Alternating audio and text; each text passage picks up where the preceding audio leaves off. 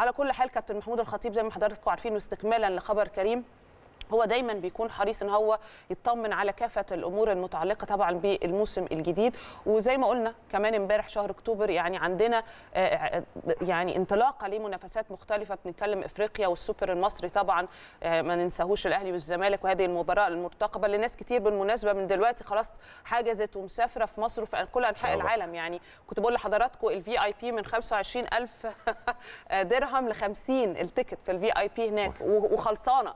يعني ناس كتير طبعا دي مباراة منتظرة وأعتقد خلاص إحنا ما عندناش وقت غير يعني إن إحنا نركز بجد.